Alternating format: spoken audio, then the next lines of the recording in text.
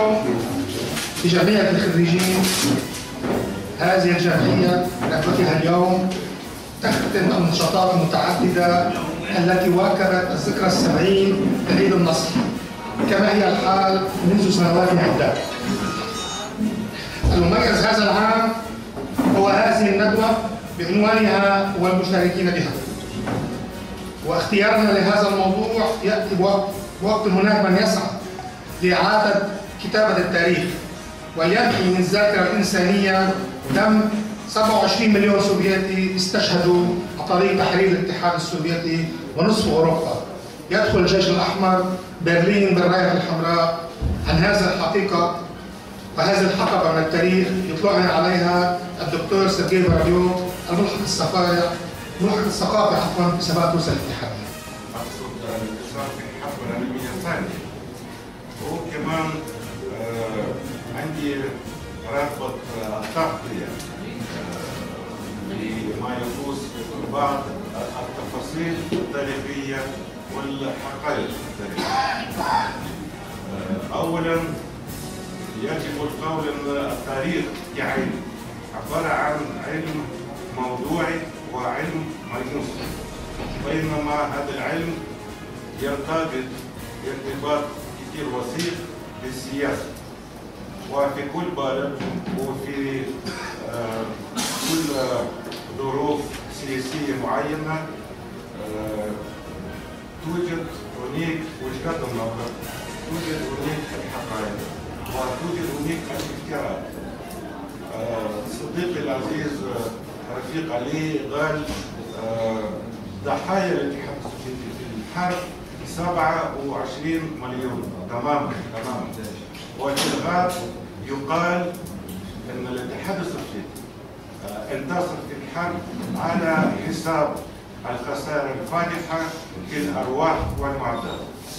بينما نحن نحكي على 27 مليون وعدد آه، الضحايا آه، بين الأبرياء 20 مليون. 20 مليون. يعني الخسائر العسكرية 7 ملايين مثل ما هي تقريبا في الويرماخت يعني في الجيش الألماني.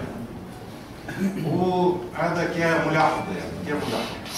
أما النقاط الجوهرية أصلا الافتراءات في في الغرب وتزييف تاريخ هذا الحرب في الغرب يعني الأمر هذا يتمثل في نقطتين النقطة الأولى ستالين وهتلر هم اثنين مسؤولان على اندلاع الحرب العالمية الثانية. كل واحد يتحمل نفس المسؤوليه والشيء الثاني آه، يعني انتصر في في الحرب الحرب العالمية العظمى بفضل الانتصارات الغربيه الغربيه سواء كانت الحربيه أو ال- ال- المدنيه.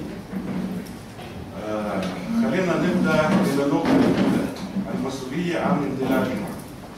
كما هو معروف آه، نظام هتلر النظام النازي وصل إلى سلطة في برلين في عام 1933 وبالمناسبة من خلال انتخابات ديمقراطية دون أي انقلاب آه، يعني بالقوة عن طريق ديمقراطي هذا درس المستفاد لل- للعالم المعاصر وبالتالي آه، هتلر آه، تدريجيا آه، ترتيبات لريفانش يعني لاسترجاع الأراضي المفقودة في الحرب العالمية الأولى. أول أولا في فرنسا وثانيا في المناطق الشرقية في بولندا. والاتحاد السوفيتي من أول لحظة من وصول النظام النازي إلى سلطة في ألمانيا آه، بدأ الاتصالات بالبلاد الغربية في إنشاء منظومة الأمن الجماعي في أوروبا يعني آه، كانت هناك تشاورات مع باريس مع لندن بس دون فائدة دون فائدة شكليا الغربيين كانوا يزوروا مصر بس على أي مستوى؟ وزير الدفاع في ذلك الوقت في الاتحاد السوفيتي اسمه ماريشال باراشيلوف كليم باراشيلوف هو كان يستقبل الوفود ورئيس الوفد على مستوى العميد هذا شو؟ هذا يعني دليل على جدية آه، العلاقة لل- للمفاوضات والتشاورات. وبالتالي الدول الغربية وهناك أكثر من دليل على ذلك. آه، يعني عملوا على تحريض على تحريض تحرك آه، تقدم الهتلري نحو الشرق. وفي مثل هذه الظروف يعني هم في الحقيقة فرضوا علينا رد الفعل. ونحن نحن. آه، عملنا آه، بعض ال- الإجراءات آه، العسكرية والسياسية كمان. وتم ضم بلاد بلطيق هذا الحقيقة تم ضم بلاد بلطيق على حدود الاتحاد السوفيتي الغربية. وبعدين دخلنا الحرب مع فنلندا. بس ما هو الغرض؟ مش أي عدوان مش أي يعني ال ال الاعتقادات ال- السياسية العدوانيه مجرد الاعتقادات الأمنية. على أساس قبل الحرب مع فنلندا المسافه ما بين آه، الحدود آه، الدولية ومدينة لينينغراد مدينة ثانية في الاتحاد السوفيتي آه، العاصمة الشمالية كما ما تسمى يعني. المسافه كتير بسيطه وهتلر في في الاسابيع الأولى للحرب كان يتقدم آه، إلى الداخل الروسي بوتائر كتير عالية لغاية 70 كيلومتر في يوم واحد 70 كيلومتر في 24 ساعة.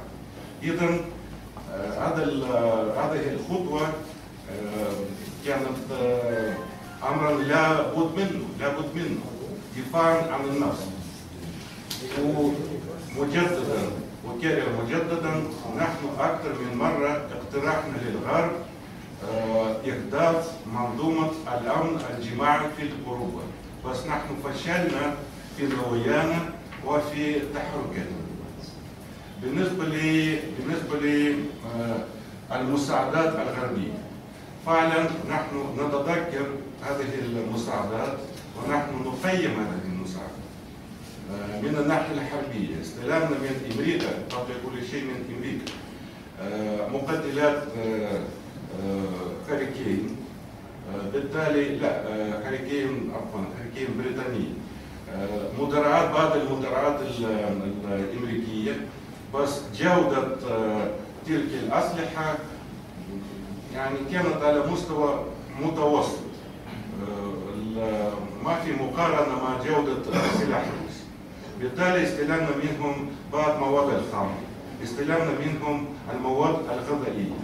نحن كمان نقيم ونقدر هذه المساعدات بس حتى من غير هذه المساعدات آه، ربما ربما آه، النصر يعني كان كان لنا ربما ب- ب- بصعوبة.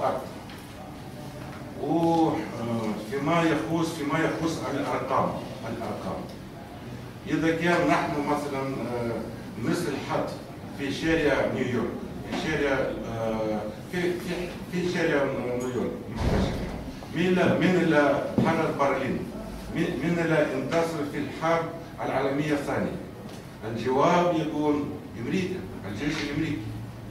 هذا يعني حصيلة آه، والتسييف هذا المزمن في في الكتب التاريخية الدراسية ال- ال- التاريخية.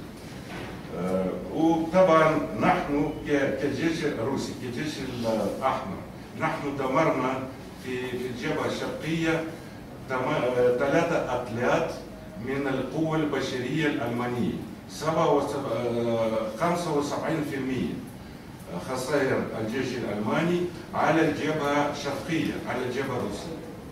أما الحلفاء هم فعلا آه، ساهموا في المعركة البحرية في معركة آه، المحيط الأطلسي هم ساهموا كمان في المعركة الجوية خاصة في عام 1940 قبل بداية الحرب العالمية الثانية فيما يسمى بحرب آه، على بريطانيا. الحرب على بريطانيا كانت عبارة عن الحرب الجوية دون العمليات ال- ال- البرية وبالنسبة لي آه، يعني مثال آه، في في هذا المجال.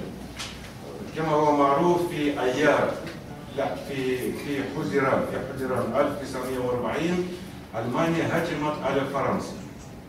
وفرنسا سقطت خلال أسبوعين خلال أسبوعين. الجيش الفرنسي السلاح الجوي الفرنسي السلاح البحري الفرنسي خلال الأسبوعين. ما عدا بعض الرياض خارج فرنسا في لبنان مثلا رياض المطار معروف معي في في وادي القطاع. يعني هو كان موجود كما هو آه، وبعض المطارات والقواعد العسكرية في إفريقيا خاصة في شمال إفريقيا. ولكن قارن آه، فرنسا سقطت في أسبوعين ونحن ضربنا مش آه، ألمانيا وحدها ألمانيا والبلاد التابعة لها مثل آه، مجر مثل آه، تشيكوسلوفاكيا مثل فرنسا. على أساس الوحدات الفرنسية كمان قاتلت وحاربت في ال- في الجبهه الشرقيه مثل إسبانيا مثل إيطاليا. وفي نهاية المطاف آه، لبنان اذا آه، إذا كان آه، نقد- نقدر ال- ال- الحقائق التاريخية. ما في أي شك ما في أي شك في آه، دور الاتحاد السوفيتي والجيش الأحمر الابيض إذا كان عندكم أي استفسار أي غموض أهلا بكم أنا مستعد أوضح كبيرة وصغيرة بقدر الإمكان.